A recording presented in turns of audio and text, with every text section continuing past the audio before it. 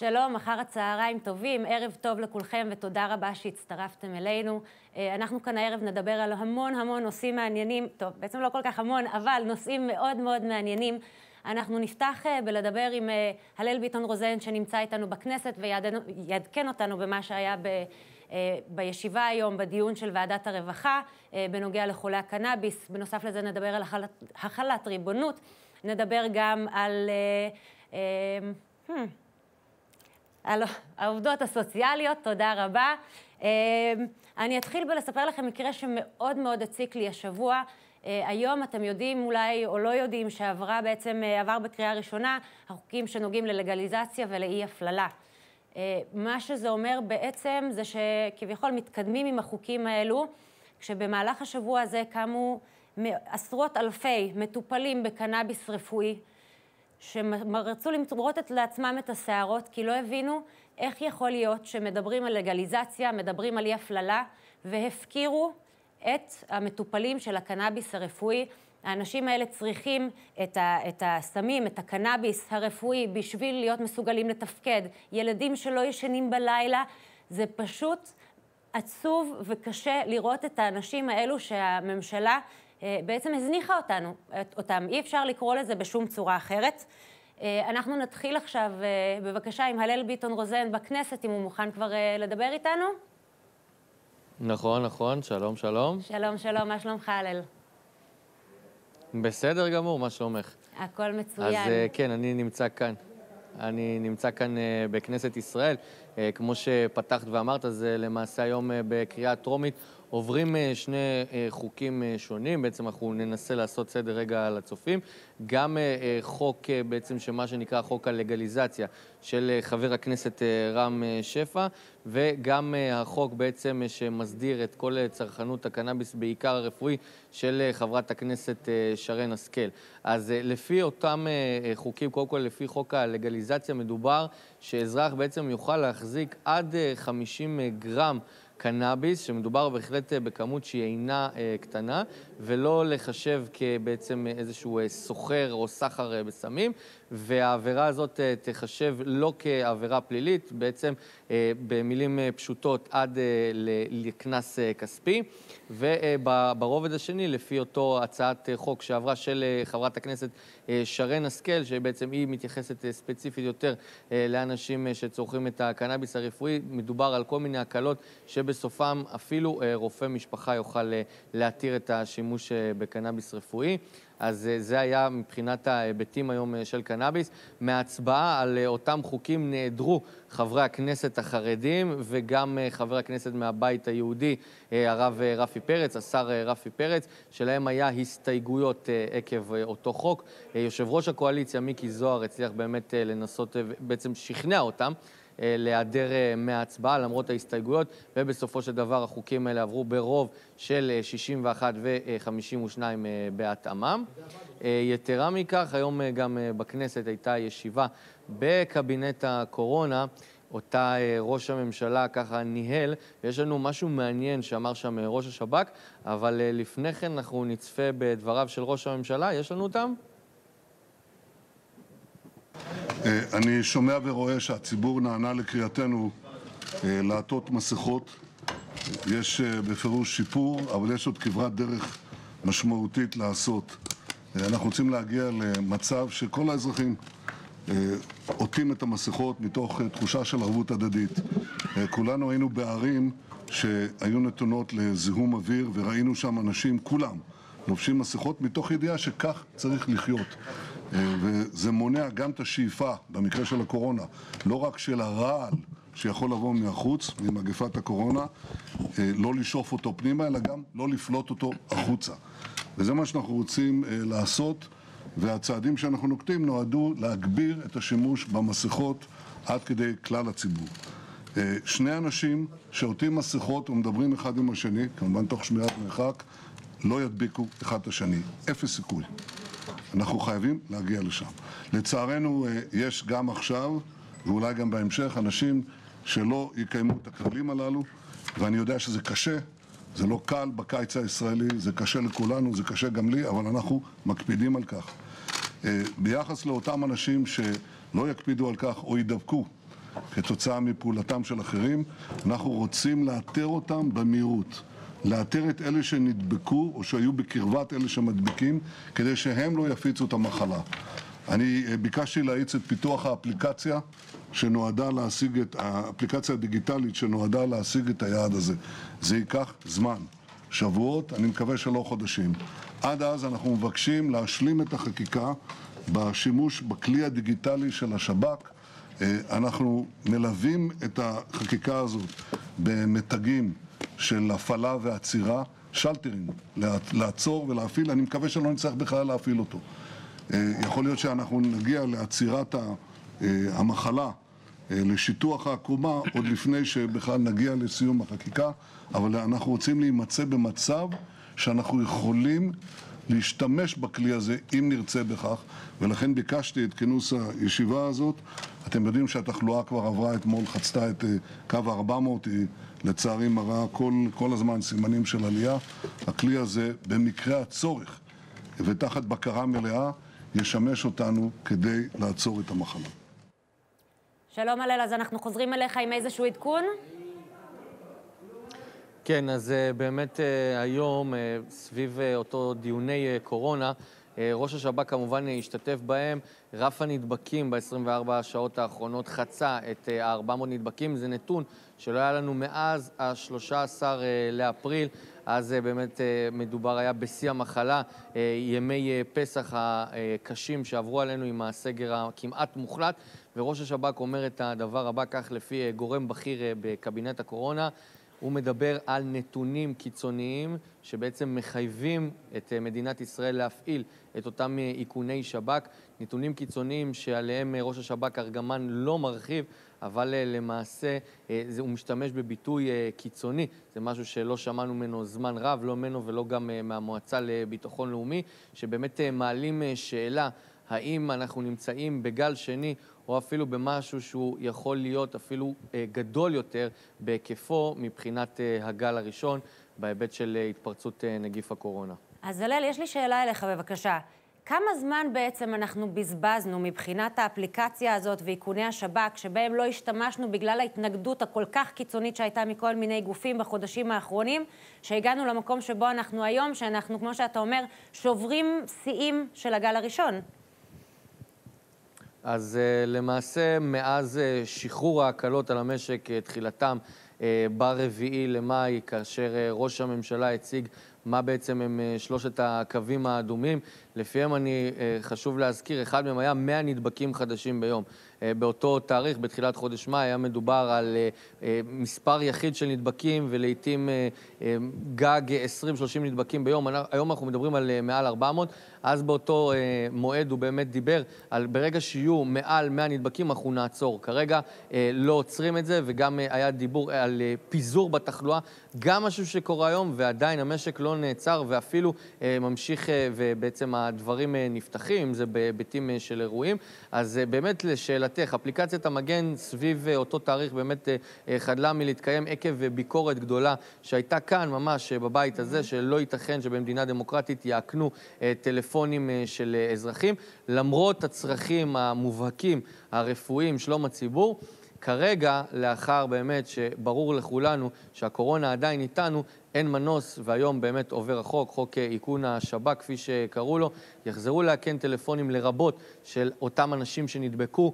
חשוב לציין שמה שנקרא חתונת ההדבקה שקרתה באופקים מדברת על 13 אנשים עד כה חולים מאומתים מחתונה אחת שהייתה בהתאם להגבלות, ביניהם החתן והכלה. אבל זה מחזיר אותנו, עליה אה, לדבר... הקורונה איתנו. זה מחזיר אותנו לנושא בדיוק שעליו דיבר ראש הממשלה, תשמרו על עצמכם, תכבדו את האנשים שמסביבכם.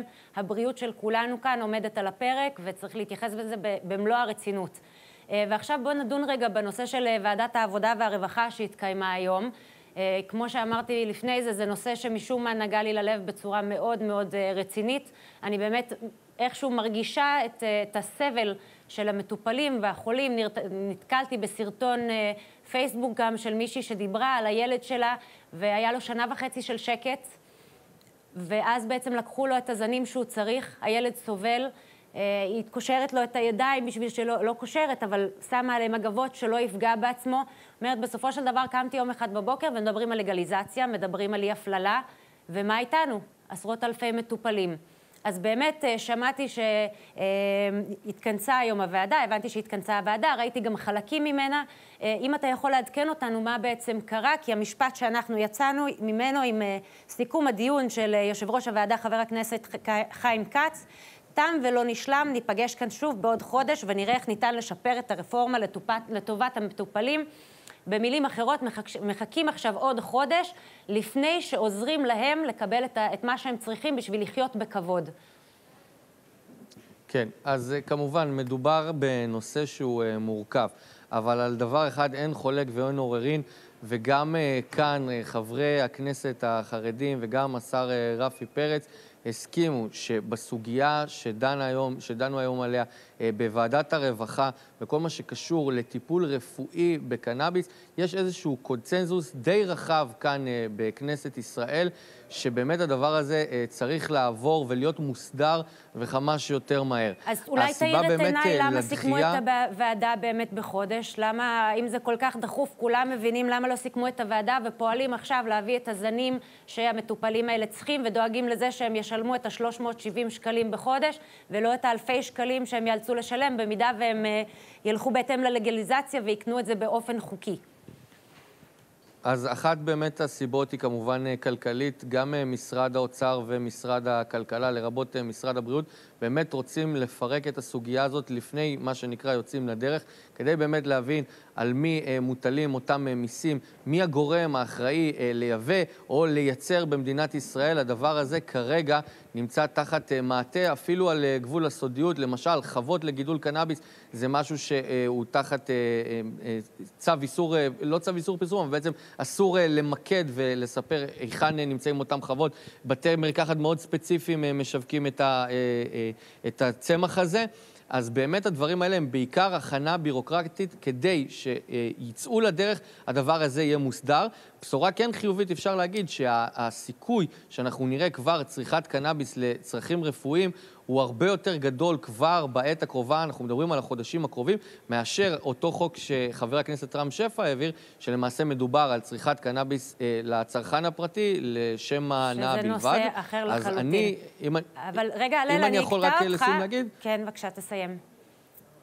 אם אני יכול רק לסיום להגיד שהדחייה הזאת בחודש, אם אני יכול להעריך אותה בזהירות, לפי אה, גורמים שנכחו בוועדה, מדובר באמת על סגירת פינות אחרונות ולא על משהו שיהיה איזושהי סחבת אה, בירוקרטית ארוכה יותר, כי ברור לכולם שהתרופה הזאת, אה, כמו שמכנים אותה, או הסם הזה, הוא באמת יכול להקיל על סבלם של הרבה מאוד אה, חולים ומטופלים.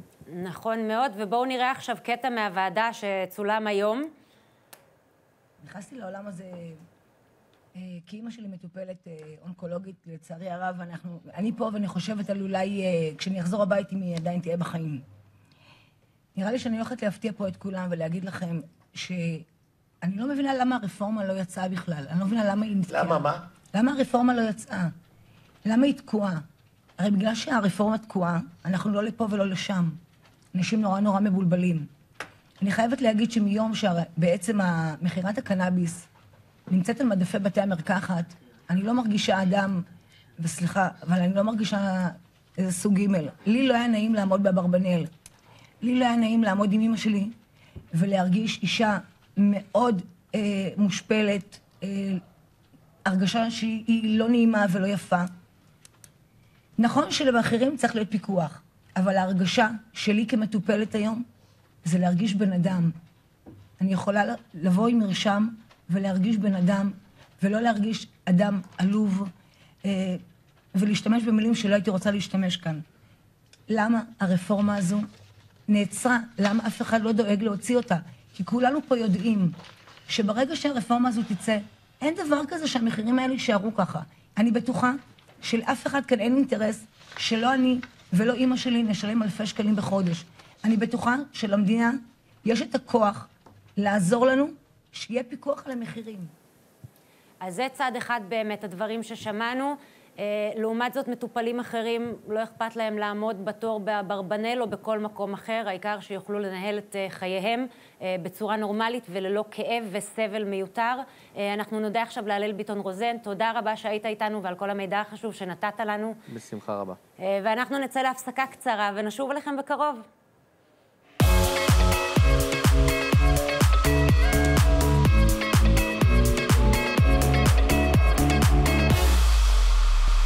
שלום לכם, תודה רבה שחזרתם אלינו. נמצא איתנו באולפן סגן אלוף במילואים ירון בוסקילה, מזכ"ל, מזכ"ל תנועת הביטחוניסטים. תודה רבה שהצטרפתם אלינו הערב.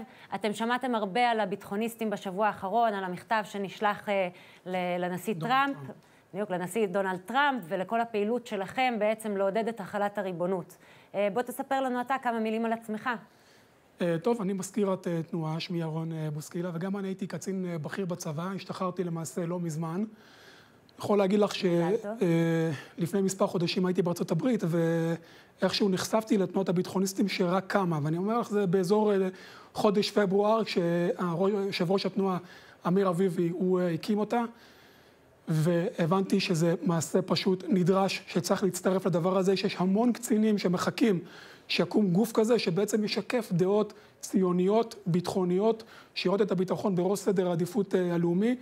ותשימי לב, אנחנו קיימים בסך הכל, בסך הכל, החל מחודש האחרון, מחודש פברואר, כבר אנחנו מונים אלפי קצינים בכירים, אגב, גם קציני משטרה, גם קציני צבא, אנשי שב"כ, מכל בעצם קשת הביטחונית שבתנועה החשובה הזאת. אז תגיד, באמת אתה ציינת את התנועה הציונית וביטחונית, ותודה לאל וטוב שאתם קמתם, אבל באמת איך קורה שכל כך הרבה קצינים שמשתחררים מהצבא בעצם הולכים מצטרפים לתנועת uh, שמאל, כמו שראינו השבוע, היום מספר אנשים שהצטרפו בעצם כידידי שוברים שתיקה וכאלו. Uh, איפה באמת נעלם הקול שלכם בכל התקופה הזאת שהייתה? Uh, ולמה אתה חושב בעצם שאנחנו רואים הרבה מהאנשים שבאמת יש על זה ביקורת, יש על זה הרבה, השיח הציבורי סביב זה, של אנשי שמאל, אנשי, גם אנשי שב"כ, סליחה, אנשי ביטחון, אנשי שב"כ, שעוזבים ובעצם יוצאים לאור עם דעות שמאל. תראי, קודם כל, אני לא חושב שיש יותר קצינים שנוטים עם הדעות הפוליטיות שלהם שמאלה מאשר ימינה. הפוך, אני חושב שיש יותר קצינים דווקא בצד הימני, אולי אפילו בגלל השירות הצבאי הם נחשפים להרבה דברים שאזרחים לא נחשפים אליהם. אבל לשאלתך, מדוע בעצם יותר קצינים מזוהים שמאל? אני חושב שזה מאותה סיבה שיותר אומנים מזוהים שמאל, ואפילו יותר אנשי תקשורת. יש משהו לא פופוליסטי, נוצר משהו בשנים האחרונות לא פופוליסטי, להיות מזוהה כאיש ימין. את יודעת מה אני אגיד לך אפילו על התנועה שלנו? בראשית דרכה, היא התחילה בעצם כמספר בודדים של קצינים, וככל שהתנועה גדלה, יותר ויותר קצינים מצטרפים אליה. אני יכול להגיד לך שברגע זה שאנחנו מדברים, הממוצע של כמות הקצינים שמצטרפים ביום, בערך בין 20 ל-30 קצינים סא"לים ומעלה. אלא מה קורה? הם פשוט חיכו שיגום גוף כזה, ומקבלים עכשיו איזושהי רוח גבית. יש כאלה שקצת התביישו להזדהות כקצינים בעלי דעות אה, ימניות, זה לא היה פופוליסטי.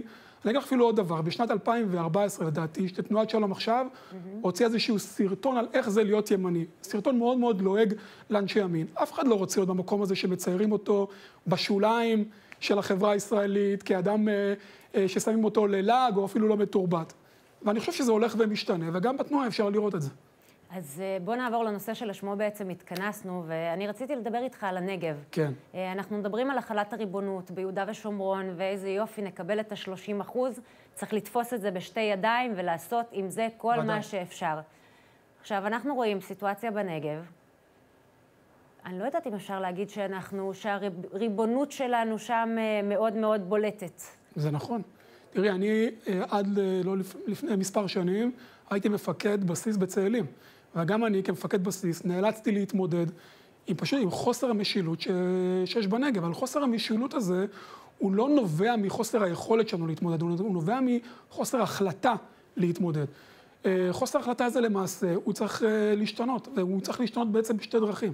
האחת, שייכת אולי למשרד לביטחון פנים, והשנייה למשרד המשפטים, ולמעשה שני הגופים האלה צריכים לעשות פעולה משותפת של להקצות כוחות, סד"כ משטרתי בנגב, שיתמודד עם ה... עם, עם, עם ה... נקרא לזה, פרעות האלה שקורות כנגד, גם כנגד אזרחים שחיים שם, בעיקר כנגד אזרחים, תושבים של מושבים ויישובים בסביבה, וגם כנגד, כנגד הצבא. והשני הוא בעצם של מערכת בתי המשפט. אני חושב שהרגל המסיימת בסופו של דבר, היא לא פועלת מספיק טוב. אדם שגונב ומבצע פריצה לתוך בסיס צבאי או לתוך יישוב, מערכת המשפטית, ברגע שהוא מגיע לפני שופט, צריך להחמיר איתו בענישה. אני יכול לספר לך שאצלי באחד מהבסיס, בבסיס שפיקדתי עליו, הגיע אדם כזה, בדואי, מהכפר ביר הדאג', שלף סכין. אנחנו מכירים את ביר הדאג'. שלף, נכון, שלף סכין לעבר קצין בצבא, תוך כדי מעשה גניבה, ולמעשה הוא שוחרר. לאחר כחודשיים הוא חזר, וכבר ראינו אותו חזרה, על גדרות הבסיס. אז תגיד, יש לי לא שאלה אליך. נכון, זה לא הגיוני, והיה איזה שיח בקשר בעצם אה, המשרד לביטחון פנים או, כן. או הצבא. מי צריך בעצם, שר הביטחון או השר לביטחון פנים, מי צריך לקחת אחריות על כל המקרים האלו בנגב שאנחנו ראינו ורואים. עכשיו, אני מעמידה אותך עכשיו בשאלה נוספת. כרגע, הצבא הוא זה שאחראי כביכול על, על יהודה ושומרון. כן. אם נחיל ריבונות, אתה רואה את המשרד לביטחון פנים, את המשטרה, לוקחים אחריות על השטחים שבהם הוקלה הריבונות? רגע, אז בואו בוא רגע נענה דבר דבר. אחד, לגבי הנושא של אה, האם הצבא צריך לפעול בנגב. תראי, אם עכשיו היינו רואים מעשים כאלה בתל אביב, לא היו מביאים לשם צבא. נכון, אבל כשמגיע היו, לבסיס, היו... אתה מדבר, ב, כאילו, כשהיית בבסיס צאלים, כן. אתה בתור uh, חייל, בתור uh, מפקד כן. בסיס, לא יכלת בעצם להתמודד איתם, לא כי... לא יכולתי, אבל אני גם חושב שהייתי, אה, לא, גם לא הייתי צריך. יש מספר דברים מאוד מוגבל שאני צריך לעשות. אני מגיע לשם להתאמן. זה שטח בתוך מדינת ישראל. אני מגיע כצבא לבוא ולהתאמן בו. אז ולמעשה... הצבא היה אמור להגן עליך. את... רגע, המשטרה, המשטרה, המשטרה צריכה למעשה לפעול באזור הזה, כמו שהייתה פועלת בתל אביב, ולהקצות לשם מתוך עשרות פלוגות מג"ב. השר לביטחון פנים צריך להחליט שהוא מקצה פלוגת מג"ב אחת.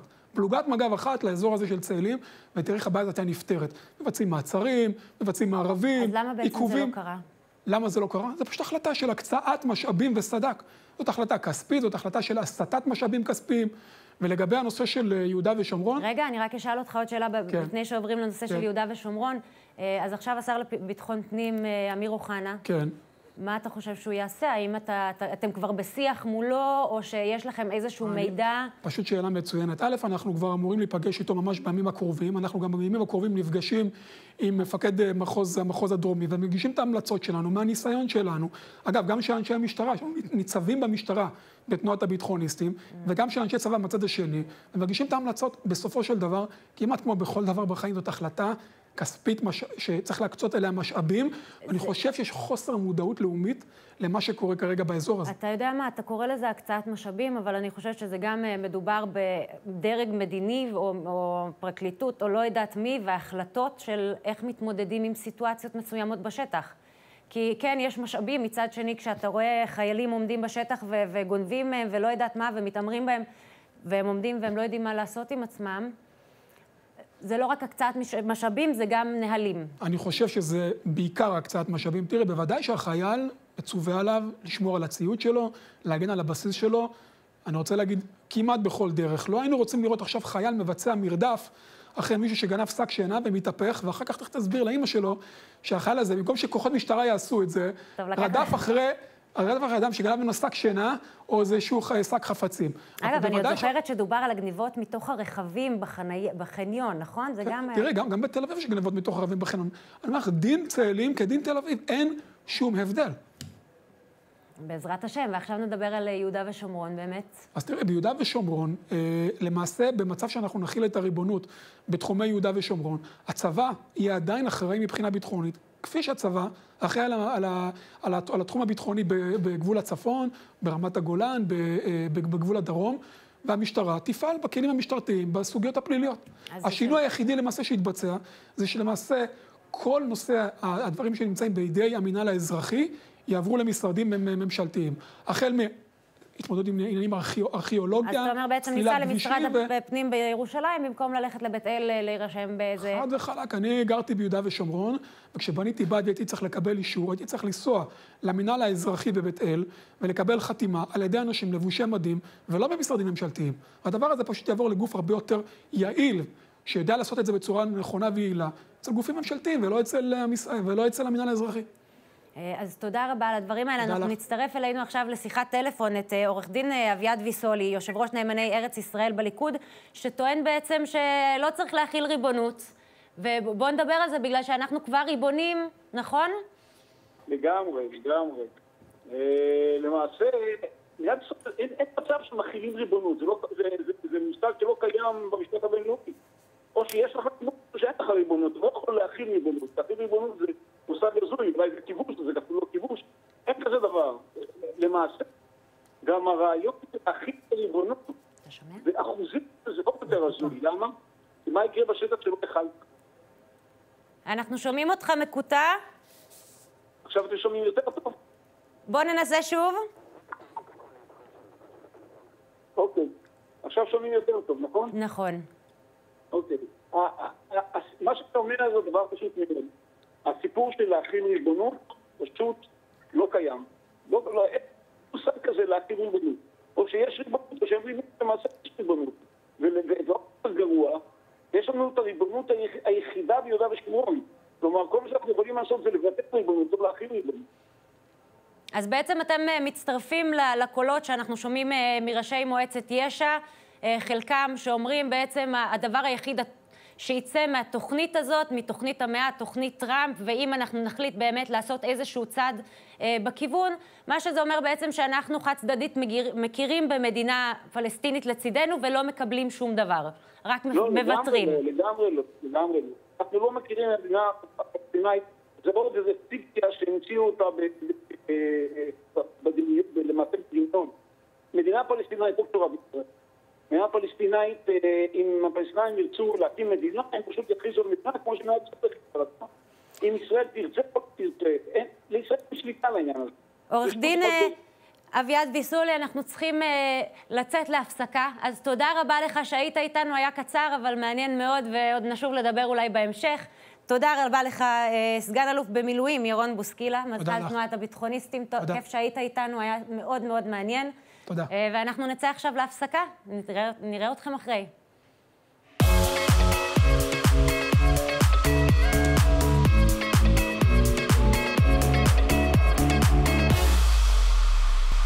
שלום לכם, צופים יקרים, תודה רבה שחזרתם אלינו. אנחנו עוברים לנושא נוסף מאוד מאוד מעניין. אנחנו מדברים עכשיו על שיתוף פעולה בעצם בין אה, נוער באריאל לנוער במועצה אבו גוש. אה, הקשר שנרקם ביניהם ובעצם התוכנית שהם עובדים עליה עכשיו בשביל להכיר אחד את השני. אז אה, נציג קודם כל, אה, יושב איתנו כאן דביר עמיור, מזכיר תנועת אריאל. נעים מאוד. ונמצא איתנו גם, וכיף מאוד שהגעת אלינו, סלים ג'אבר, ראש מועצת אבו גוש. ברוכים הבאים. אז אנחנו קצת הספקנו לשוחח באולפן לפני שחזרתם אלינו, ואני חושבת שדרך מאוד טובה להתחיל לנהל את הדיון הזה ולשמוע בעצם על, על המפגש, זה איך הכל התחיל. אז אה, בואו תיתנו לנו רקע. דביר, אתה רוצה להתחיל? אז באמת, אה, לפני שלוש שנים וחצי היה את הפיגוע בהר אדר, והיה שם אה, שלושה חיילים שנפלו, אחד מהם זה היה יוסוף עותמן. אה, אנחנו תכננו את המסע אה, סוכות של התנועה, הגיעו לשם חמשת אלפים חניכים של, של, של בני נוער מהתנועה שהגיעו להר אדר, ואמרנו שאנחנו לא יכולים להתייחס לפיגוע שהיה שלושה שבועות אה, קודם לכן, והזמנו את אה, עיסאם עותמן, אבא של יוסוף.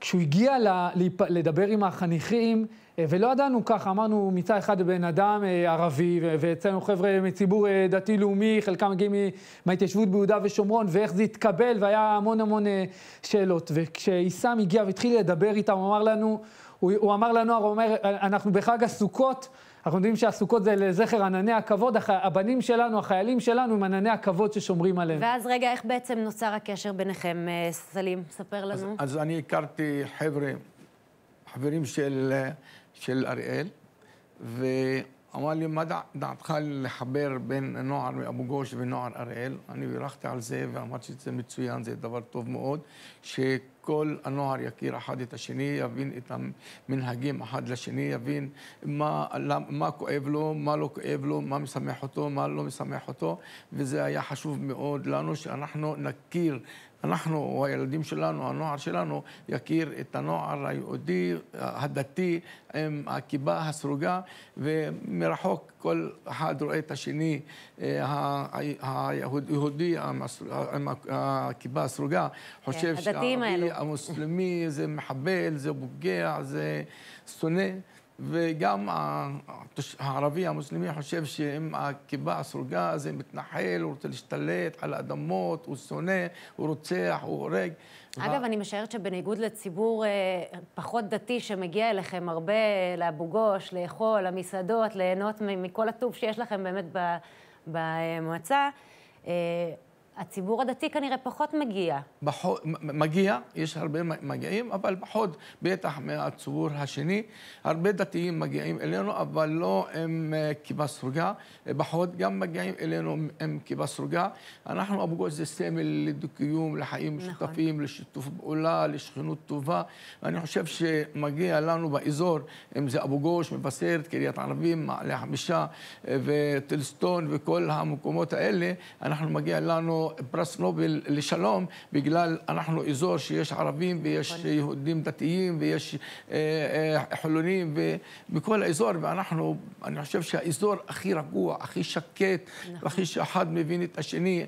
אני עושה קניות ממבשרת, ומבשרת באים לקנות מאצלי, אני רואה אותם אצלי. אגב, אחותי הגדולה התחתנה באבו גוש. אצל אח שלי, אח שלי. וגם אחותי הקטנה עוד מעט מתחתנת באבו גוש. הגן ההוראים זה של אח שלי, זה שלי, של אבא אז שלי. אז אני באה לבקר אותך בספטמבר. תמיד, אז מנהל הגן זה אח שלי. תודה. אז כמו שאמרת, החתונות אצלנו, האולם, או הגן האירועים הוא של ערבי, מוסלמי. עכשיו, מי השומרים ערבים מאבו גוש? המלצרים רובם ערבים מאבו גוש, המנקים ערבים מאבו גוש, הם מקבלים את הבנים ערבים מאבו גוש, וחלק גדול מהאוכל והחומוס שעושים גם ערבים מאבו גוש, ורוב החתונות, 95% מהחתונות בגן האורעים או בבוסתן אבו גוש, זה ליהודים. רגע, בוא נחזיר את הנושא הזה למפגש שהיה ביניכם באמת אתמול. Uh, המפגש שהתקיים אתמול, ספרו לנו קצת עליו. אה, קודם כל, השתתף איתנו בפגישה הרבה של ירושלים, הרב, הרב אריה שטרן, הרב הראשי לירושלים, שזה בכלל היה כבוד גדול, שהוא פתח את, ה, את, ה, את, את, ה, את הפגישה.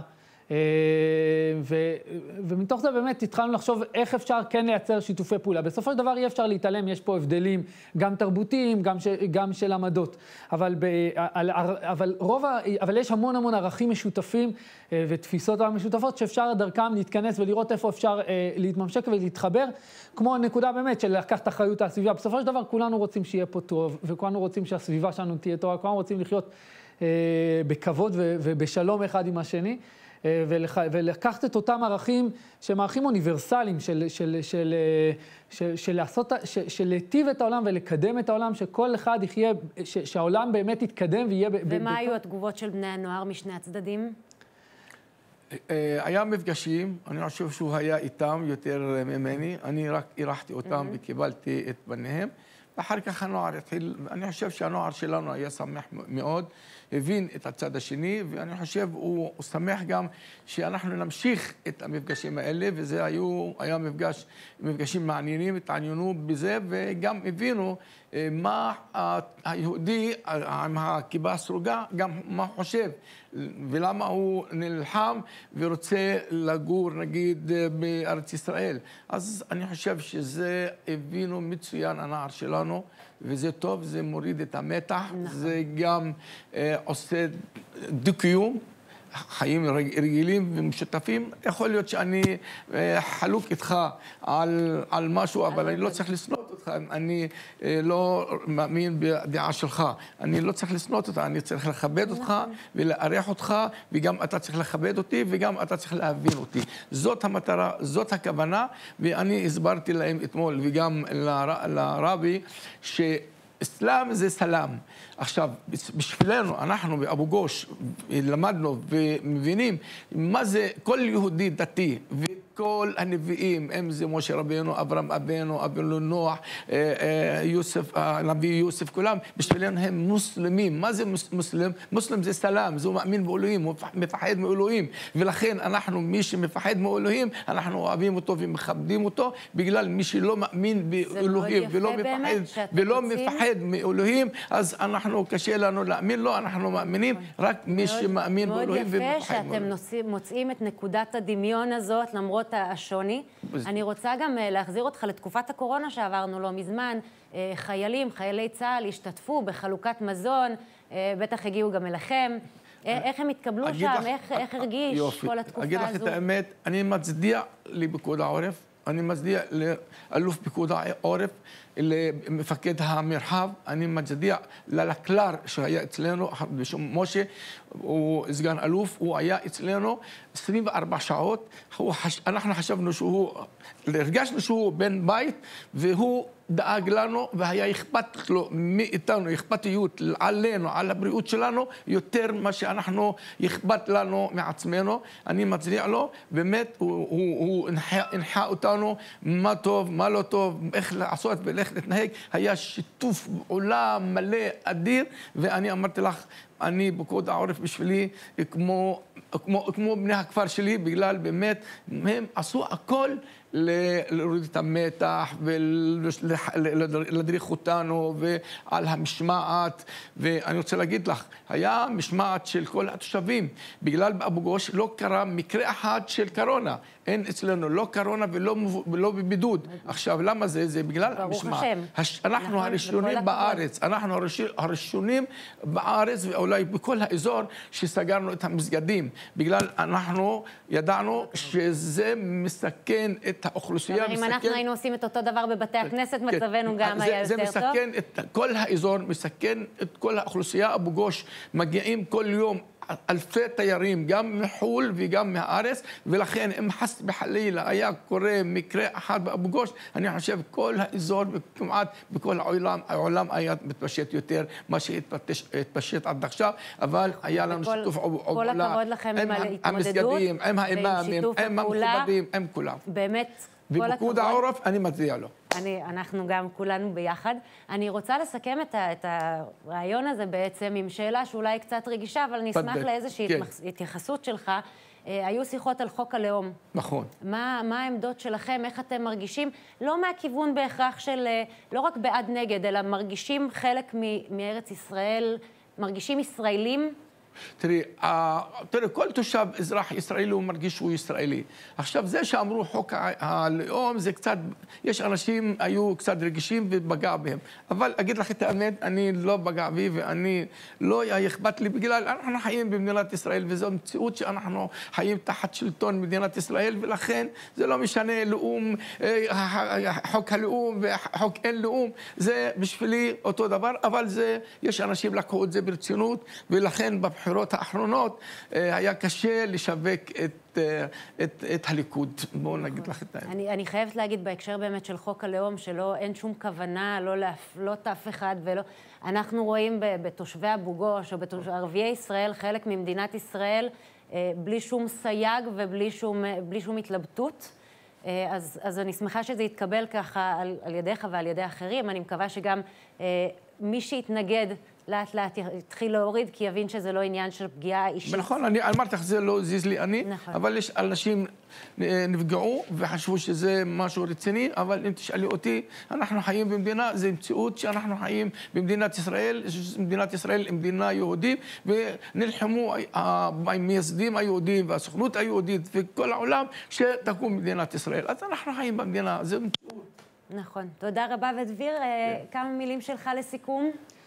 אני חושב ששאלת אותי, שאלת אותי על הנוער, אני חושב שהרבה פעמים אנחנו כמבוגרים עסוקים אה, במחלוקות הגדולות, אבל בסופו של דבר לנוער אה, דברים הרבה יותר פשוטים והרבה יותר ברורים, אה, וזה דברים שאנחנו חוששים כל כך להתעסק איתם, כשזה מגיע אליהם, הם שמחים לבוא ולקחת חלק. אנחנו, אני בטוח שגם כאן במקרה הזה, זה, זה השיתוף פעולה בינינו ילך ויגבר, ו, ו, ואולי אנחנו נהיה איזה, איזה סוג של מבשר. של, אה, של יכולת לחיות אה, ביחד, בכבוד הדדי, בהערכה גדולה, עם כל המחלוקות וה, וההבדלים. ו- ורק תודה אני רוצה רבה. להוסיף, רציתי- במשפט רציתי- קצר, כן, כי אנחנו אני חייבים רציתי לצאת. להוסיף ולהגיד לך, ואנחנו נוכיח לכל העולם שכן אפשר לחיות ביחד, אפילו אם יש חילקי דעות. נכון. ותודה רבה על המשפט סיכום הזה, אני, אני עומדת מאחוריו, מחזקת אותך ואתכם תודה. על הבאמת פרויקט תודה. המאוד יפה הזה. אה, תודה רבה לדביר עמיור, מזכ"ל תנועת אריאל. תודה רבה לסלים סלים. סלים, ג'אבר ראש מועצת ראש. אבו גוש. כיף מאוד שבאת אלינו, נקווה שתחזור אלינו שוב. תודה. אה, וצופים בבית, אנחנו יוצאים להפסקה קצרה ומיד נחזור.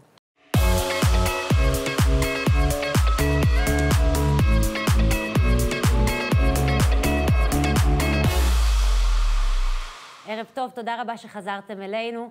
אה, אנחנו עוברים לנושא מאוד מאוד מעניין ובעצם קצת מתסכל. כשקוראים עליו, שומעים עליו, רואים את, ה, את השיח אה, שלא מספיק תופס מקום בשיח הציבורי. אה, בשבוע שעבר היו כאן גם, דיברנו עם העובדות הסוציאליות. בעצם מה קורה בתחום שלהם, העומס הבלתי אפשרי שהם עומדים בו, על אחת כמה וכמה עכשיו בתקופת הקורונה, שעוד יותר מקרים, עוד יותר פניות. אה, בואו, אנחנו פה היום מדברים, יש לנו את אה, מיכל נעמי אלקיים, עובדת סוציאלית, שנמצאת איתנו כאן באולפן, וגם דנה קציר, עובדת סוציאלית. אה, וכיף מאוד באמת ששתיכן באתם אלינו ותספרו לנו קודם כל את החוויה שאתן עוברות בתור עובדות סוציאליות. כן. מי רוצה להתחיל? אני אתחיל. אז בעצם, אבל סוציאלית, קודם כל, אני אגיד שאנחנו נהנות. אני אדבר גם בשם כן. דנה, אנחנו באמת נהנות במקצוע הזה, לא שאנחנו אה, סובלות, אבל כן, יש המון המון קושי. אנחנו מתמודדות עם המון המון עומס. אה, דיברת על זה קצת גם עכשיו עם תקופת הקורונה. אה, ככה, אם אנחנו מדברים על הנושא של אלימות כנגד עובדים סוציאליים, אז צריך להבין שאנחנו נפגשים עם אנשים במצבים מאוד מורכבים של החיים שלהם. ואנחנו נדרשים לקבל החלטות לא פשוטות הרבה פעמים. הרבה פעמים זה החלטות שאנשים ככה... תני לי דוגמה. הוצאה של ילדים מהבית זה הדבר המאוד אה, מובן, אה, אבל הרבה פעמים גם החלטות של אה, עזרה בכל מיני מענים כלכליים שיש לנו. באמת, יש לנו מענים מוגבלים. נראה לי גם זה שאנחנו מקיימים קשר ממש ארוך טווח עם אנשים, אז כמו כל קשר אנושי, יש בזה אתגרים, יש בזה דברים שקשורים למתח בין זה שאנחנו גם קשר אישי, לבין זה שאנחנו נותנים מענים קונקרטיים שאנשים מאוד זקוקים להם. לגמרי. אה, וזהו, וזה באמת הרבה פעמים מוביל אה, לכעס של האנשים, אה, הרבה פעמים כלפינו.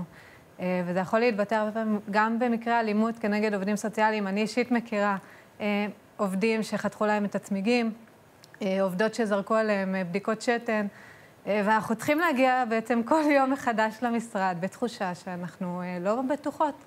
אה, לא בכל המשרדים שלנו יש... אגב, אה, אני לא יודעת אם המצלמות רואות את הדמעות ואת ההתרגשות שלך בעיניים, כאילו המעורבות. אה, נכון, כי שזה... זה לא פשוט, זה באמת לא פשוט לבוא למקום עבודה שאתה לא בטוח אם אתה... ככה, איך הסתיים היום שלך בעצם, ומה התגובות. שצריך להגיד שהרבה מאוד אנשים גם כן אה, בקשר טוב איתנו, זה לא שזה הרוב המוחלט, לא, אבל... בוודאי, אבל מספיק, כן. מספיק, מספיק אה, מיעוט... לא בטוח מספיק מקרה אחד שבו אתה יוצא מהבית ואתה לא בטוח אם אתה צריך להסתובב אחורה כי מישהו עוקב אחריך. אגב, גם בתוך הקשרים הטובים, זה פשוט כאילו הטבע של קושי, גם בקשרים מאוד מאוד טובים עם פונים, יש להם גם הרבה אה, תסכולים והרבה דברים, כאילו, יכולים לכעוס עליי תוך כדי שמראים לי את ההערכה כלפיי, כי זה פשוט איזשהו תסכול באופן כללי אה, למשאבים ולמה שאנחנו יכולים לתת.